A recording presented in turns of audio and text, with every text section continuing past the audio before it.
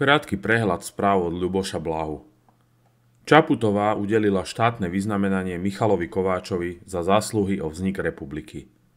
Prevzal ho jeho syn, známy z kauzy Technopol. Škoda len, že na slavnostné podujatie nepozvali aj Mariana Kočnera, ich spoločného kamoša, ktorému prezident Kováč udelil v roku 1997 amnestiu v prípade Technopol. Fraška by bola dokonaná. Každý, kto pozná dejiny Slovenska vie, že o vznik republiky sa spomedzi politikov zaslúžil ďaleko viac Vladimír Mečiar a prezident Ivan Gašparovič. A nie Kováč. Nebuďte smiešná pani Čaputová.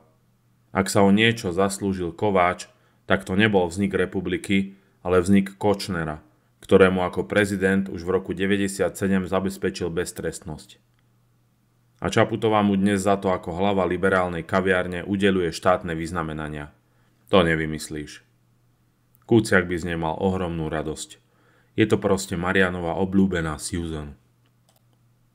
Igorovi Matovičovi na ústave zabudli odobrať mobil a tak celý Silvester preplakal a vypisoval svoje bludy. Dozvedeli sme sa, že celý svet sa proti nemu sprisahal, všade lietajú mafie, ufóni a reptiliáni.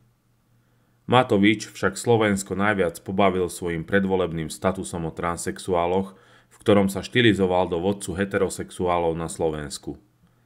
Chaloš, ktorý tri roky vládol po boku dúhovej Cigánikovej a do politiky priviedol liberálnych fanatikov ako Stančík, Heger či Naď, odrazu predstiera, že je guru konzervativizmu. Daj si facku, Igor. Poprosíme zodpovedných, aby pacientovi Matovičovi okamžite doručili jeho lieky a odobrali mobil, lebo Slovensko z neho umrie od smiechu. Inak sa nedeje nič. Ambasáda sa ďalej trasie z toho, že 21. januára bude úspešné referendum a ich poskokovia z Hegerovej vlády prídu o teplé fleky. Prirodzene Čaputová referendum poslušne sabotuje. V denníku sme oslavujú, že pred rokom vyhrali zápas o obrannú dohodu z USA – a že Čaputová sem s Naďom pozvali okupačné vojska. A keď sme už pri Naďovi, ten v narcistickom ošiali počas sviatkov vyhlásil, že má šlachtický pôvod a v žilách mu vraj koluje modrá krv. Hneď som si spomenul na úbohého zemepána zo slovenských večerníčkov, z ktorého si za každým vystrelil rozprávkový úrošik. To musel byť šľachtic znať, ako by mu z oka vypadol. Ja len, že nať si to pletie. On nemá modrú krv, ale modrú knižku. A celá armáda sa mu smeje, že takáto zakomplexovaná guľka je ministrom obrany.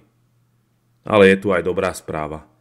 Mladí slovenskí hokejisti ukázali svetu, že hrajú výborný hokej, aspoň niekto nás vo svete dôstojne reprezentuje. Ďakujeme. Koniec krátkých správ, krásny deň priatelia, dodal Luboš Blaha.